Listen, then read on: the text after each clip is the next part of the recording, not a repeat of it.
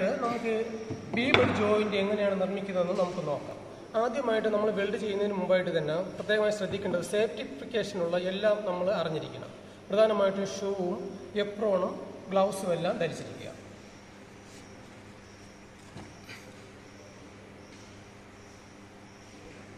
ആദ്യമായിട്ട് നമ്മൾ എയ്റ്റി മില്ലിമീറ്ററിൽ ഒരു മെറ്റൽ പീസ് കട്ട് ചെയ്യുക.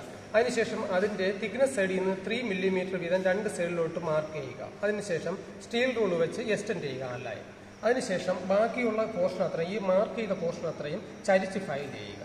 അതിനുശേഷം നമുക്ക് വെൽഡ് ചെയ്യുന്നതിനായിട്ട് വർക്ക് ബെഞ്ചിലോട്ട് കൊണ്ടുവരിക ഈ മെറ്റലിൽ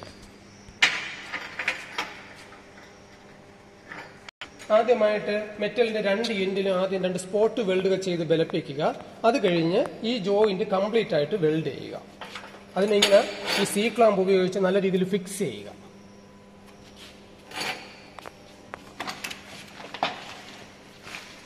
കഴിഞ്ഞതിന് ശേഷം ജസ്റ്റ് ഈ രണ്ട് സൈഡിൽ സ്പോട്ട് ചെയ്തിട്ട് വെൽഡ് ചെയ്യുക.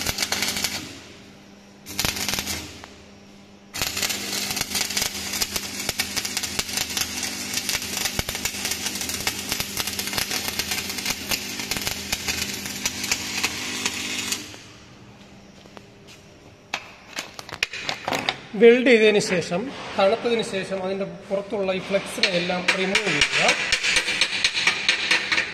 അത് കഴിഞ്ഞിട്ട് ബ്രഷ് ഉപയോഗിച്ച് നല്ല രീതിയിൽ ക്ലീൻ ചെയ്യുക. എന്തെങ്കിലും ഡിഫക്റ്റ് ഉണ്ടെങ്കിൽ ആ പോർഷൻ വീണ്ടും ഒന്നും കൂടെ ബിൽഡ് ചെയ്ത് നമുക്ക് നല്ല രീതിയിലുള്ള ഒരു ബിൽഡിംഗ് ജോയിന്റ് നിർമ്മിക്കാനായിട്ട് സാധിക്കും. അടുത്തതായിട്ട് ബിൽഡിംഗ് ജോയിന്റ് നമുക്കൊന്ന് നോക്കാം. ഇതാണ് ടി ജോയിന്റ് എന്നാണ് പറയുന്നത്. ടി ജോയിന്റ് എന്ന് പറയുമ്പോൾ ഒരു പീസ് ഹൊറിസോണ്ടൽ ആയിരിക്കും ഒരു പീസ് വെർട്ടിക്കൽ ആയിരിക്കും ഇതിന്റെ സെന്റർ ആയിരിക്കും. നയന്റി ഡിഗ്രി ആയിരിക്കും. ഇതിനെ നമുക്ക് ടി ജോയിന്റ് എന്ന് പറയാം.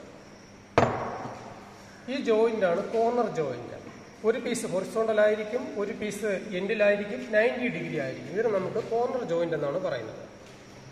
ഈ കോർണർ ജോയിന്റിന്റെ ഏതെങ്കിലും ഒരു പോർഷൻ പുറത്തോട്ടോ അകത്തോട്ടോ വെച്ച് വെൽഡ് ചെയ്താൽ നമുക്ക് ഹാഫ് കോർണർ ജോയിന്റ് എന്ന് പറയാം. രണ്ട് മെറ്റലുകളെ അതിന്റെ പുറത്തിങ്ങനെ ഓവർ ലാപ്പായിട്ട് വെച്ച് വെൽഡ് ചെയ്ത ലാപ്പ് ജോയിന്റ് എന്ന് പറയാം. രണ്ട് മെറ്റലുകളുടെ എഡ്ജുകളെ തമ്മിൽ ജോയിൻ ചെയ്ത എഡ്ജ് ജോയിന്റ് എന്ന് പറയാം. ഇത്തരത്തിലുള്ള അഞ്ച് ജോയിന്റുകളാണ് വെൽഡിങ്ങിൽ നമ്മൾ സാധാരണയായിട്ട് ഉപയോഗിക്കുന്നത്.